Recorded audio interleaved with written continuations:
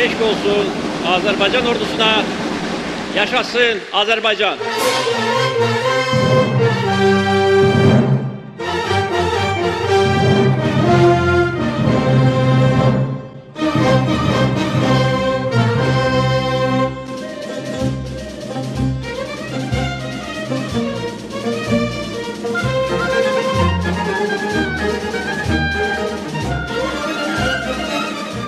Səməd bəy Mehmandarov 1855-ci il oktyabrın 16-sında Lənkəranda anadan olmuşdur.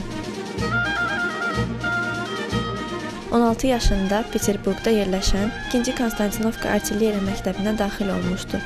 1875-ci ilin dekabrında podporuçik rütbəsi almışdır.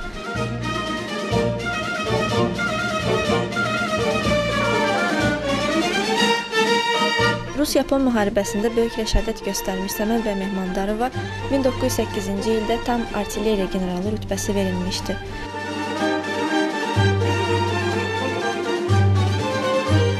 Birinci Dünya müharibəsi başlanarkən Varşava ətrafında xidmət edən general Səməd bəy Mehmandarovun komandir olduğu 21-ci piyada diviziyasının tərkibində 4 alay var idi.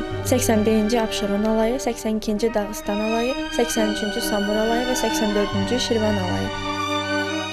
Visla çayı yaxınlığındakı İvanqarod rayonunda 21-ci diviziya 52-ci piyada diviziyası tərkibində 205-ci Şamaxı və 206-cı Səlyan alayları da var idi. Diviziya komandiri Səməd bəy Mehmandarov Lodz istiqamətində aparılmış döyüşdə Alman generalı Makinsonun ordusu üzərində qələbə əldə etmişdir.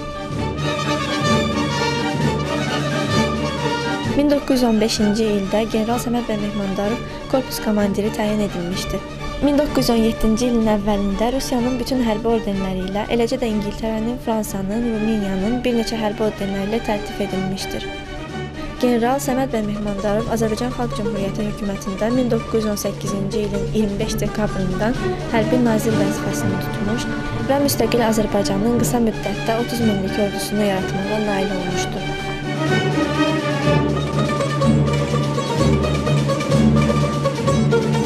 Sovet hakimiyyəti qurulduqdan sonra Nəriman Nərimanovun şəxsi zəmanəti əsasında hərbi fəaliyyətini davam etdirmiş və Azərbaycanda yaradılmış Hərbi Komandirlər Məktəbində 1921-1928-ci illərdə müəllimlik etmişdir. General Səməd bəy Mehmandarov 1924-1927-ci illərdə Azərbaycanda hərbi sahədə aparılan geniş islahatlarda və tədbirlərdə fəal iştirak etmişdir. 1928-ci ildə general Səməd bəy Mehmandarov səhhətinə görə orduda xidmətdən təxris olunmuş və ona fərdi dövlət təqaüdü verilməsi müəyyən edilmişdir. General Səməd bəy Mehmandarov 12 fevral 1931-ci ildə Bakıda vəfat etmişdir.